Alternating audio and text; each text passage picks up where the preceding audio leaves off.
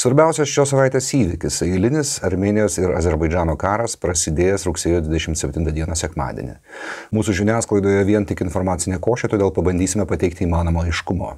Kaip ir daugelio kitų karų atveju labai sunku patikrinti informaciją. Abi pusės itin kontroliuoja į viešumą patenkančias žinias.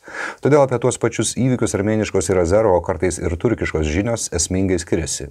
Rusijos šaltiniais taip pat galima pasitikėti tik iš dalies, kadangi jau dabar galima identifikuoti tam tikrus strateginės komunikacijos naratyvus. Neveltui Azerbaidžanas, o dalinai ir Armenija pradėjo blokuoti didžiąją dalį interneto, įskaitant įvairius messengerius. Pradžiai trumpa Karabaho konflikto istorija. Kalnų Karabachas Sovietų sąjungos laikais buvo autonominė respublika Azerbaidžano sovietinės respublikos sudėtyje. Paskutinio sovietinio surašymo duomenimis ten gyveno 77 procentai armėnų ir 25 procentai azerų.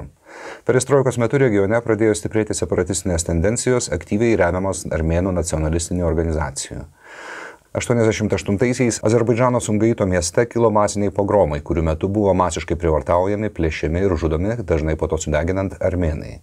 Armenai vėliau irgi nekartą pasižymėjo įvairiais prievartos epizodais, garsiausias iš kurių vadinamoji Hodžaly tragedija paties Karabaho karo metu.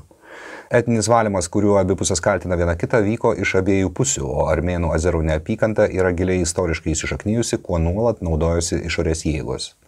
Akivaizdu, kad Karabaho konflikto sukelimas buvo kryptingo SSRS, KGB ir kitų struktūrų plano, kurio tikslas kurti etninės ir kitokios įtampos žydinius dalis.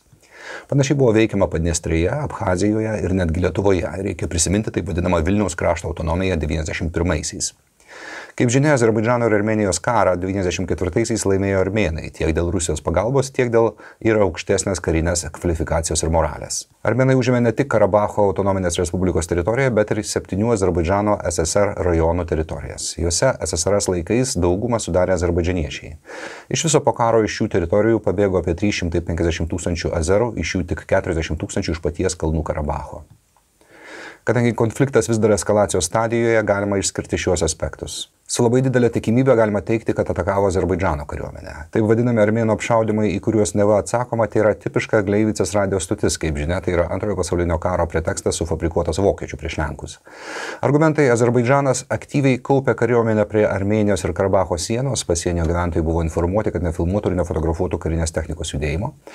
Įvairios Azerbaidžano institucijos jau prieš porą dienų informavo visuomenę, kad nebūtų pasiduodama informacinėms provokacijoms.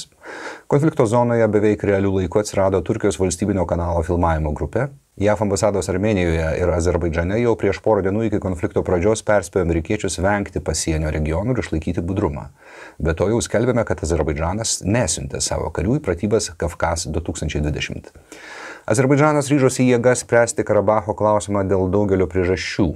Šalies viduje jau yra didelė įtampa dėl ekonominių problemų, kritus naftos kainai ir pandemijos, kai kuriais duomenimis net sostinėje Baku 30-40 procentų bedarbių.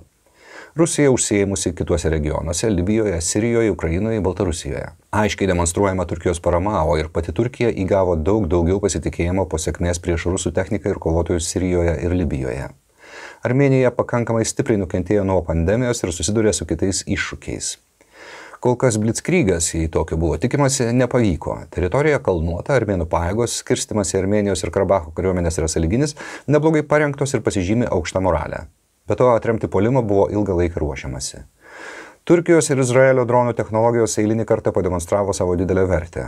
Galima teikti, kad tam tikrą pranašumą Azerbaidžanas šiuo metu turi būtent dėl šių technologijų naudojimo. Pasiteisino ne tik Bayraktar TB2, bet ir savižudžiai dronai. Kita vertus, rusiškos oro gynybos sistemos eilinį kartą parodė savo bejėgiškumą. Nors armenai skelbia apie didelių kiekių dronų ir kelių sraigtasparnių numušimą, tikėtina, kad dauguma numuštų dronų tai yra jau minėti kamikadzės arba nedideli žvalgybiniai.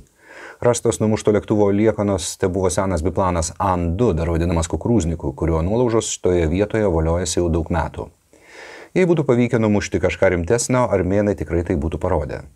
Aišku, visada galima galvoti, kad visi numuštieji dronai nukrito Azerbaidžano teritorijoje. Azerbaidžano sausumos pajėgos niekada nepasižymėjusios aukštų kovingumu stebuklų mūšyje kol kas nerodo. Armenai sunaikina nemažą kiekį karinės technikos ir karių, netgi naudodami sovietinę ginkluotę.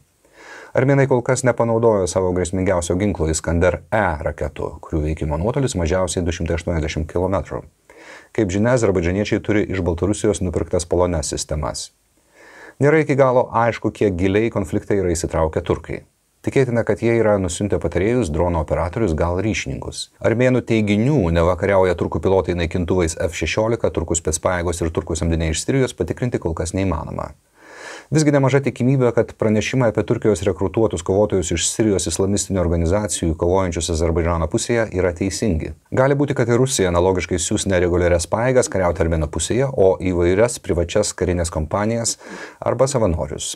Savanoriai iš Šiaurės Kaukazo Respublikų, kabutėse, kurių brandolį sudarė GRU užverbuoti Šamilio Basaivo čečienai, buvo vienas svarbiausių Gruzijos pralaimėjimo Abhazijoje faktorių.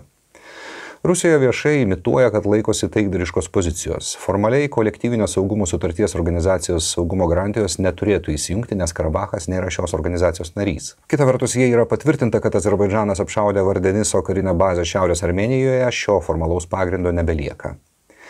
Maskvos pasirinkimai pakankamai problematiški.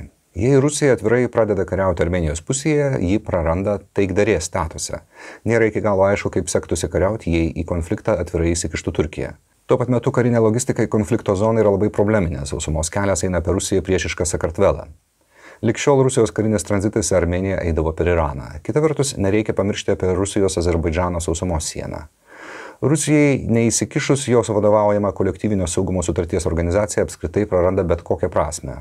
O ir bendras vertinimas labai pablogės. Todėl tikėtina, Kremlius bandys ieškoti kažkokių tarpinių sprendimų.